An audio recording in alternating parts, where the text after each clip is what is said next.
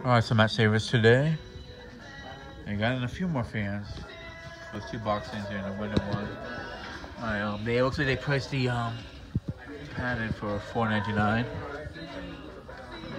I'm not gonna get it. I know someone wants them, but it's honestly the third one I've seen come in here, so they, we do get them in every now and then.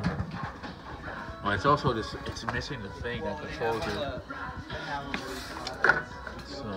It's also a bit rusty looking too. The grill. Um, I just have too many I gotta get rid of. Um, yeah, they got this one. Oh, and they got this one too. And they priced that one for four ninety nine. Um, yeah. And here's what's over here. Get back into the swing of it.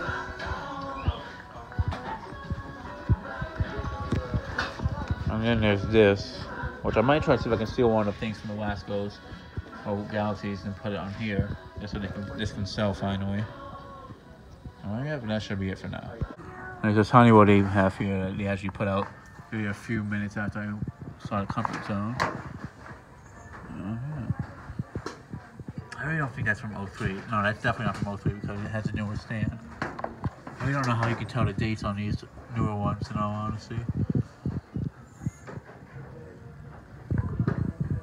Yeah, if somebody can teach me how to tell the dates on these, that'd be appreciated. It's missing a thing, but yeah, there it is. All right, here's this Comfort Breeze, or no, Comfort Zone. So, but um, I also just figured I mentioned they did try to sell that didn't take a Breeze Breeze as a register, the white and blue one. And I immediately took off the sticker and put it back up there because we are still using that. I don't know why they tried to sell it, but maybe this will be a good one to use up there too at some point. Right now for the lamps. And This is kind of a nice looking one for for two bucks. It's not bad. Oh, I like this one actually. Now for the lamps on this side.